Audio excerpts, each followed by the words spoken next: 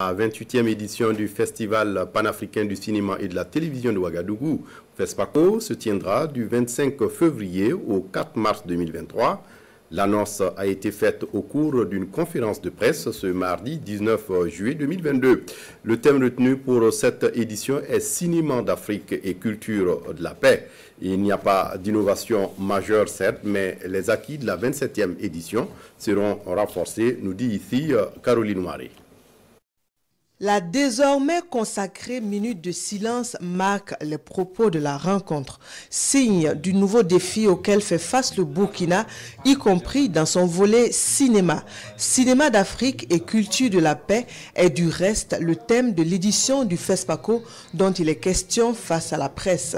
Si la dernière édition est réputée détentrice du record de participation avec plus de 12 400 accrédités, l'édition 2023 ne devrait pas en attendre moins malgré le contexte sécuritaire et sociopolitique.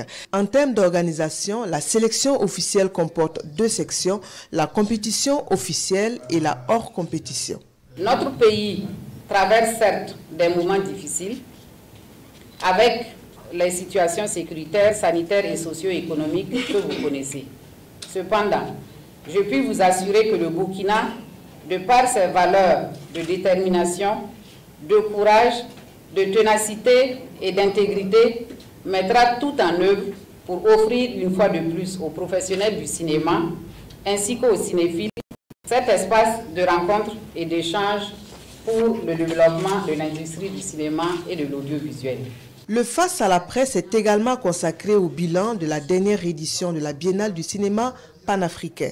En chiffres, le FESPACO 2021, c'est 250 films sélectionnés, 153 films en compétition, 350 projections et 1350 visiteurs par jour